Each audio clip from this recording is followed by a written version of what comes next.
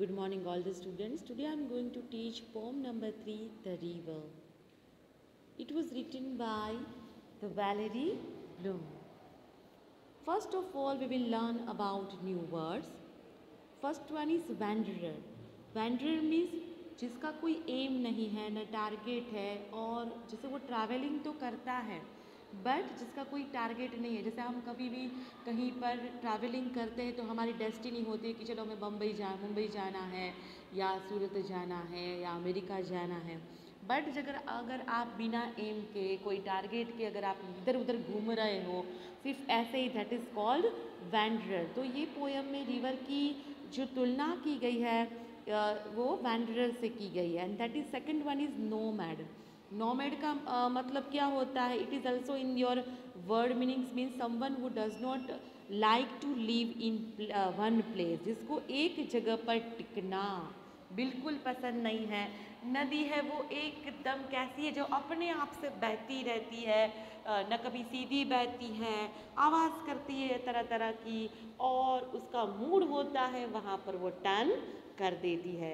Third one है tramp tramp का मतलब बच्चों क्या होता है कि जिसका कोई घर बार नहीं है और इसीलिए वो इधर से उधर और उधर से इधर मीन्स भटकते रहते हैं that is called tramp camp का मतलब है, अगर आप कहीं पर थोड़ी देर के लिए रुक रहे हो परमानेंट नहीं बट फॉर फ्यू डेज़ और फ्यू आवर्स और you can say few for a few times समझे? थोड़ी देर के लिए that is called camp fifth one है वाइंडर वाइंडर मीन्स कि जो सीधा नहीं है it's not straight at all it means it has so many turns and twist six one है वेली जो दो पर्वत के बीच में होता है, यानी कि जिसको हम खीन बोलते हैं.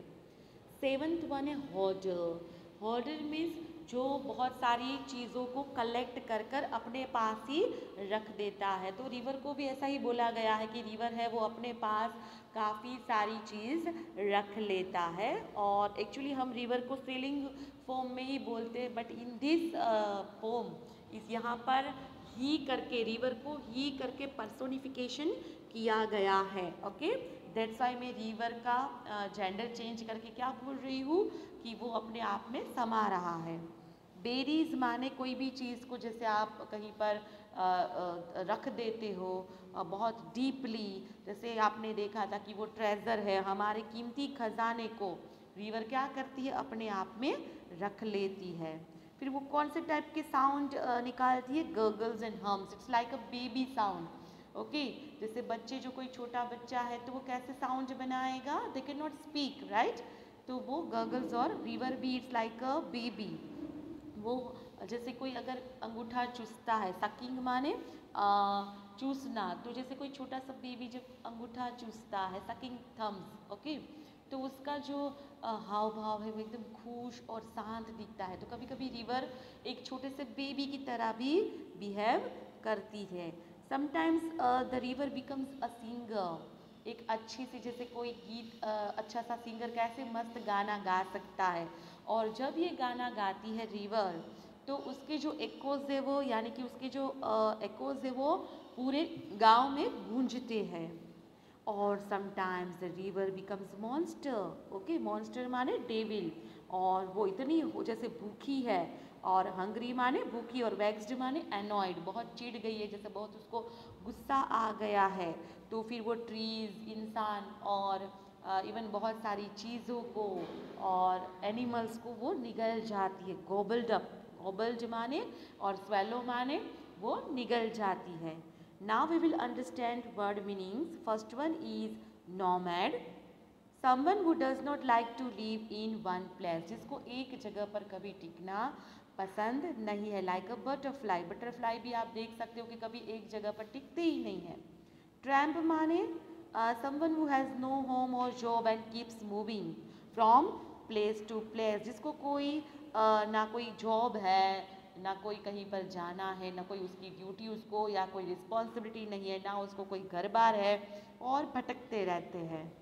कैंप माने अ प्लेस टू स्टे अगर आप कहीं पर रुक जा रहे हो थोड़ी देर के लिए फॉर फ्यू टाइम्स तो इट इज़ कॉल्ड कैंप हम भी कभी अगर फॉरेस्ट में या कहीं पर जाते हैं तो हम कैंपिंग करते हैं ना तो वहाँ पर हम परमानेंट नहीं बट फॉर द टेम्प्ररी जो हम रुकते हैं दैट इज़ कॉल्ड कैंप यानी a place to stay for the temporary you know the next one is hoarder hoarder means someone who collects large amount of something यानी कि जो बहुत सारी चीज़ें अपने आप में वो रख लेता है, जबकि उसको ज़रूरत ही नहीं है। नदी को बिल्कुल ज़रूरत नहीं है। फिर भी वो काफ़ी सारी चीज़ें जो हमारे लिए बहुत यूज़फुल है, वो भी अपने पास रख लेता है। Gargles gargles mean makes a low और हैप्पी साउंड यानी कि बहुत आनंदित जब हम आवाज़ आती है जैसे बेबी की हम कोई छोटे बेबी की आवाज़ सुनते हैं हमें कितना मज़ा आता है। तो sometimes river makes the sound like gargles और you can say the baby sound okay next one is vexed vexed means annoyed annoyed माने चिढ़ जाना गुस्सा करना okay okay? Wanderer, already I told you in the beginning, means a person who travels aimlessly. Aim means जिसका कोई ध्येय नहीं है। ओके बिना कोई टारगेट के बिना कोई लक्ष्य के जब आप घूमते रहते हो that is called a now we will move to the answer in short.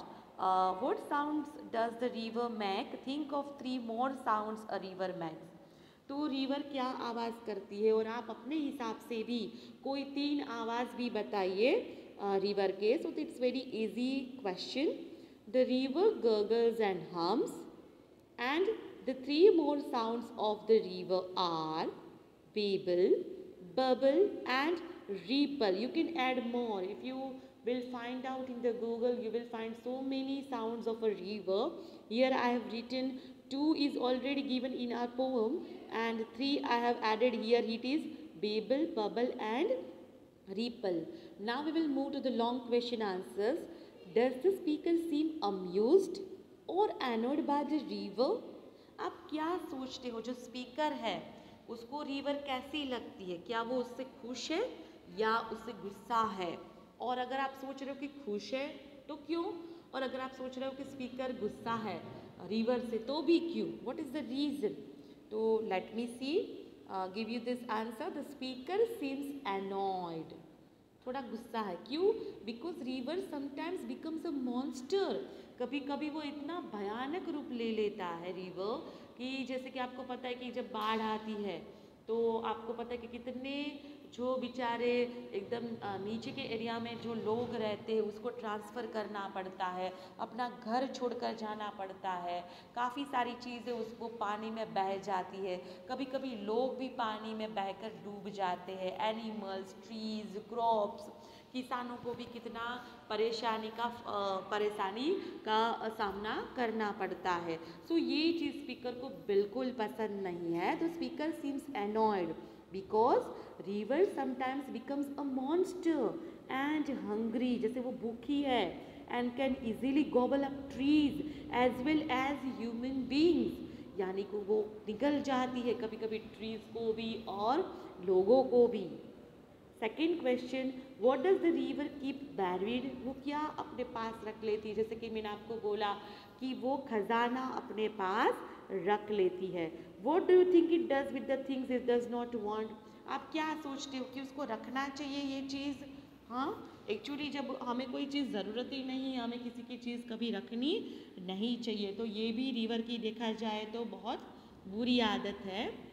So the river buries the little treasure treasure माने खजाना खजाना it wants to keep it destroys destroys all the things which are very useful to all living things जो हमें चाहिए जो हमारे लिए कीमती है उसको वो डिस्ट्रॉय कर देती है नाश कर देती है जो हमने कितनी मेहनत से जो चीज़ बनाई है या फिर गॉड ने बनाई है, उसका वो जब वो मॉन्स्टर का रूप धारण कर लेती है, वो उसे डिस्ट्रॉय कर देती है। तो it is this is the dark side और you can say the evil side of the river so I hope by watching this video you will be able to learn new words meanings as well as question answers so please watch video two three times okay and take care Till then, bye-bye.